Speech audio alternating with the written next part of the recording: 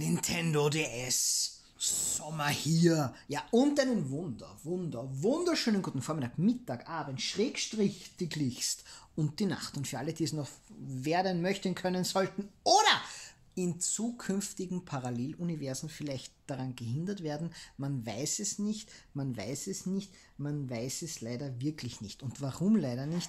Naja, weil wir gerade vielleicht in der Welt von Rayman unterwegs sind. Äh, was haben wir denn hier Hübsches? Rayman DS ist ein Port von Rayman 2, der für die PlayStation 1, glaube ich, ausgekommen ist.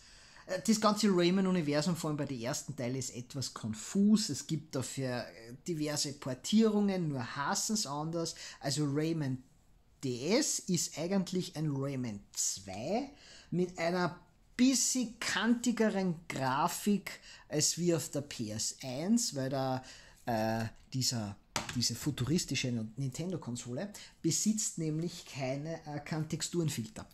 Und jetzt hat man dann einfach gesagt, okay gut, wir veröffentlichen das Spiel und es schaut ein bisschen zacher aus als wie ähm, auf der PS1 und ich glaube auf dem, ich bin mir jetzt nicht ganz sicher, aber ich denke, ich wage mich dunkel zu erinnern, dass Rayman 2 auch für den Nintendo 64 rausgekommen ist. Bin mir jetzt nicht ganz sicher. Ir gibt es, glaube ich, also irgendein Rayman-Spiel.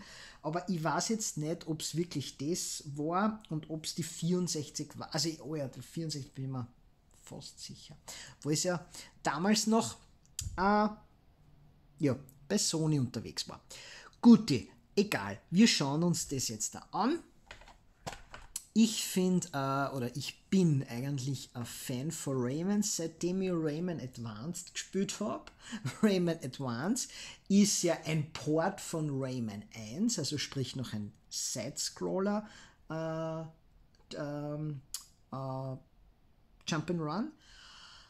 Und war aber, glaube ich, dann erst wieder bei den Neichern. Egal. Ähm, ja, war auch eine Portierung. Jetzt muss ich kurz gähnen. Es ist 2 Uhr am Nachmittag und ich bin sehr müde. Äh, ja, insofern cooles Spiel.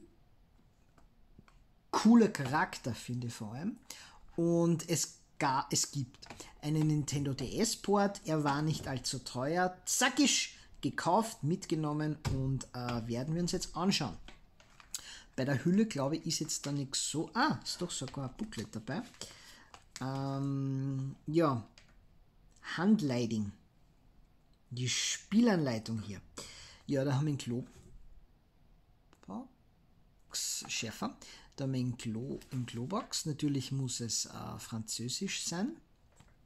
Französisch und Niederländisch. Der ganz klassische Schritt von einem Studio, was mal sehr gut war und was heutzutage viel Hate bekommt. Ich möchte mich dazu nicht äußern. Ja, manche Schritte oder so sind ungewöhnlich, mir ist egal. Manche Spiele, die sie noch rausbringen, find ihn, finde ich, sind noch immer cool. Ja. Globox zeigt, dass es auch in Deutsch geht. Ja, wir können die, die Stiftsteuerung verwenden mit einem virtuellen Analogstick auf dem unteren Bildschirm. Das haben wir schon angeschaut. Ja, ansonsten noch diverse Gegenstände. Wir werden jetzt, äh, vergessen wir die Notiz nicht, wir werden jetzt, ruhig Stativ, wir werden jetzt, jetzt sage ich dritten Mal, äh, jetzt dann nicht ein komplettes Let's Play oder sowas machen, aber ich denke, das erste Level, so Steuerung kennenlernen technisch, sollte schon drinnen sein. Aufgepusst.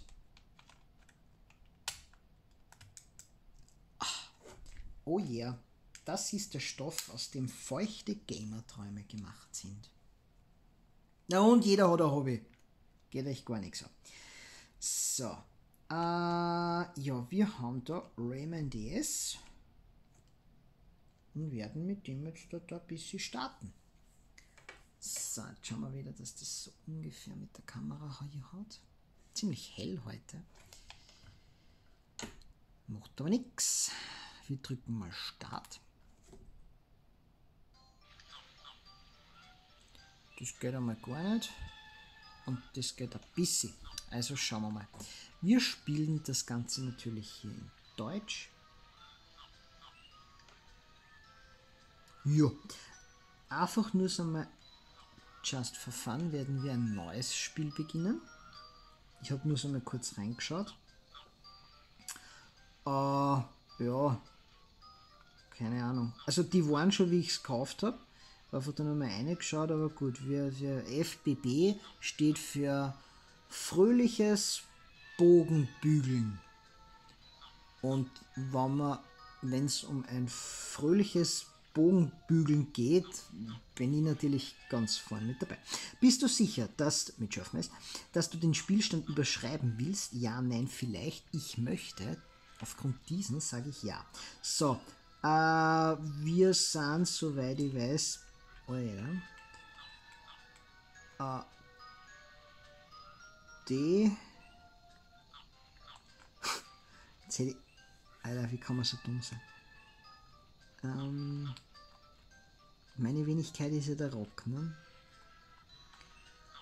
Jetzt hätte ich fast, wenn er das gesehen hätte, hätte jetzt fast, ähm, ja. Ah, Intro. Up, up. Ubisoft präsentiert.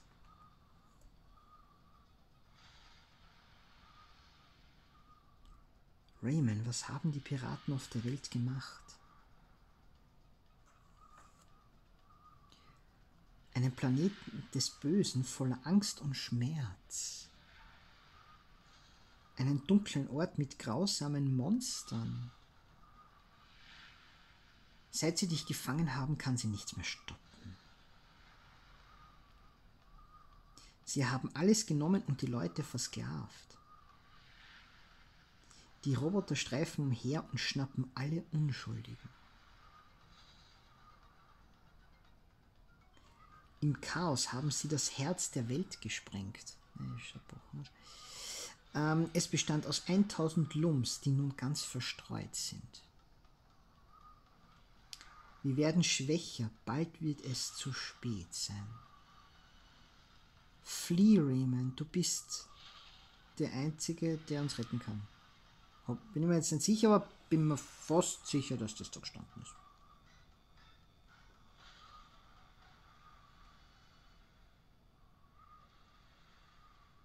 Das Gefangenenschiff der Piraten. Kommandant Admiral Klingenbart. Sklaven an Bord. Oh, 18.915, 16. Fleißig sind äh, Ein bisschen größer machen. Mal.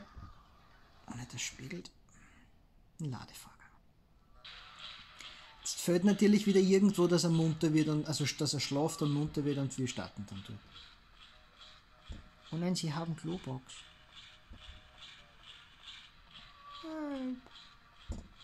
Gnade. Oh.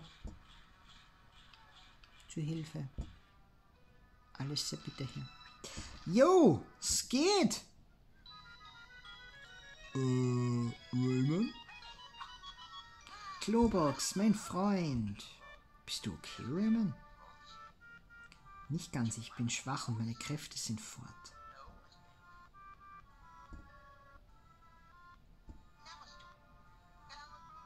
Weißt du, Klobox, das ist bestimmt das Ende aller Tage.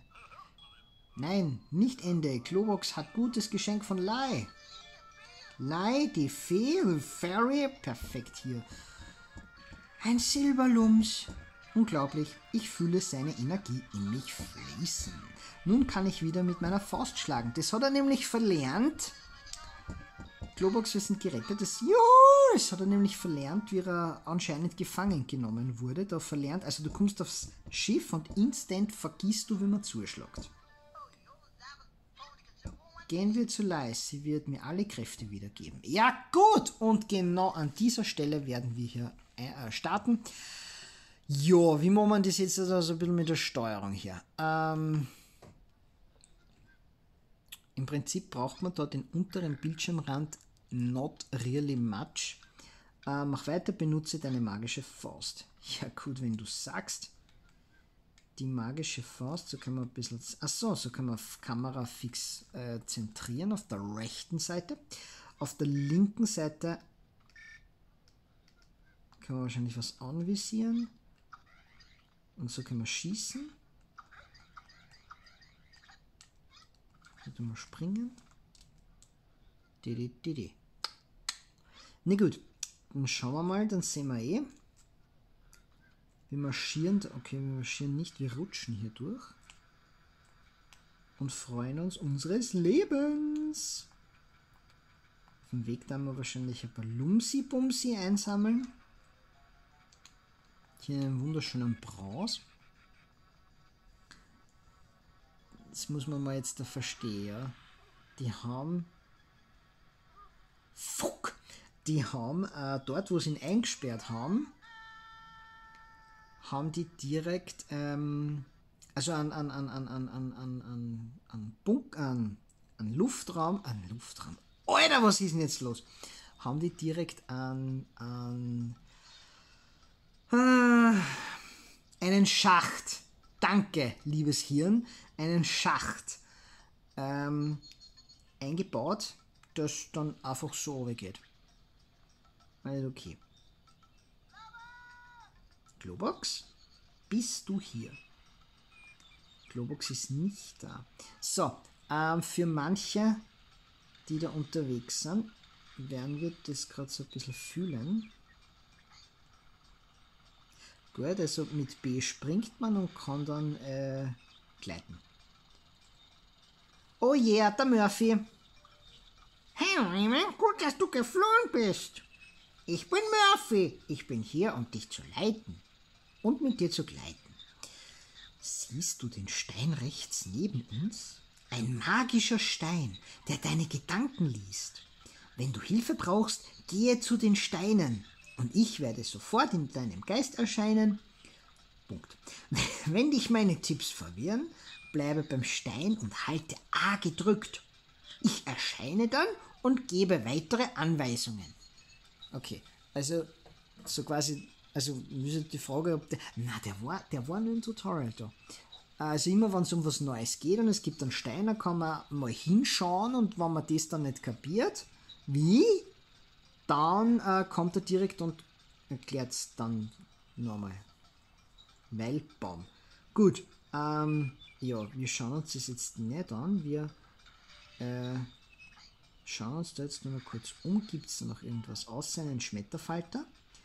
Dann haben wir deinen Wasserfall und deine Höhle. Ne, wir fangen aber vielleicht mit der Höhle. Vielleicht gibt es in der Höhle gleich was Besonderes. Na, schau mal daher. Ähm, ich würde jetzt eigentlich aber. Ja, genau. Die Steuerung ist ein bisschen eine mittelmäßige Katastrophe. Super, du hast eben einen Piratenkäfig zerschlagen. Alter, wir sind die Besten. Äh, zerstöre viele davon, sie sind voller Energie. Siehst du auch die helle Kugel dort? Flüchtig. Das ist ein gelber Lums. Sammle viele davon. Sie lassen dich geheime Orte betreten. Und sie lehren dich alle Geheimnisse dieser Welt. Nimm den gelben Lums und drücke. Oh! Na gut. Äh, gelber Lums. Jetzt ist. Oh Gott. Jetzt sind wir da runtergeplumpst. Aber ich hatte doch noch so viel vor in meinem schwammigen Leben. Ah ja, diese grandiosen Moskitotos. Ah, ewig. Dann haben wir hier noch einen. Ah, okay. Das finde ich cool mit dem DS. Äh, such noch 48 Lums. Die gelben Lums sind die äh, ah, 1000 Fragmente des Herzens der Welt. Dass die Piraten zerstört haben. Je mehr du sammelst, desto mehr lernst du. Punkt. Du erreichst die Geheimnisse der Welt, indem du L-Knopf drückst, suche nach 48 Links. Wahrscheinlich bis zum nächsten Geheimnis. Sehr großartig. Da können wir jetzt, ja, da also in diesem, ich hoffe mal, das ist das Tutorial-Level. Ich will auch nicht, dass diese Videos jetzt so lange werden. Ja, hier können wir nicht drauf. Doch können wir. Ähm, Gibt es insgesamt jetzt da fünf Lums. In der Luft drücke B, um den Helikopter zu starten.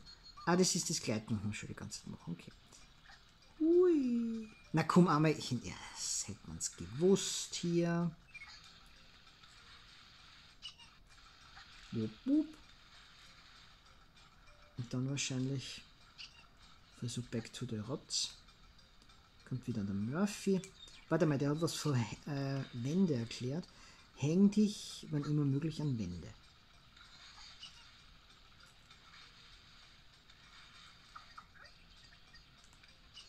Ah, es geht ja doch. So. Und jetzt können wir feststellt Uh. Und es geht sich natürlich nicht aus.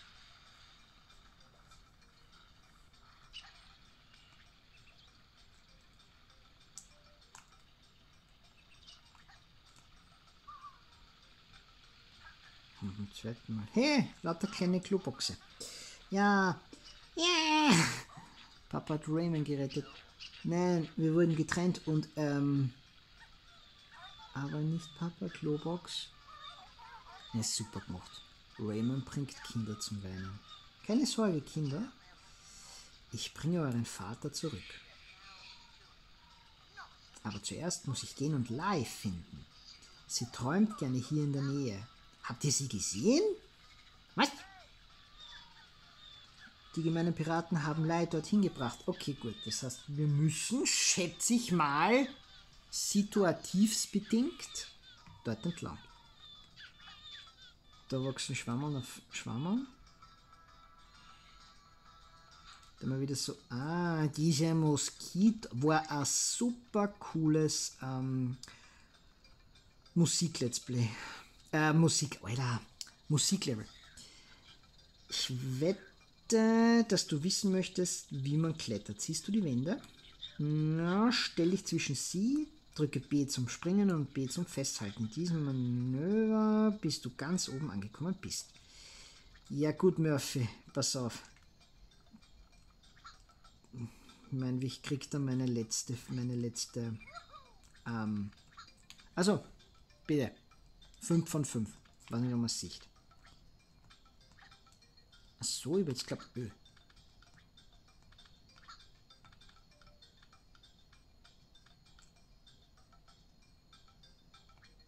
Cool. Ähm, so, dann sind wir jetzt da oben. Da ist ein. Oh, ah, okay. Tod und Verderben. So, jetzt ist die Kamera klar leer. Wir riechen, schmecken, fühlen uns im nächsten Video wieder. Bis dahin und Tüdelü.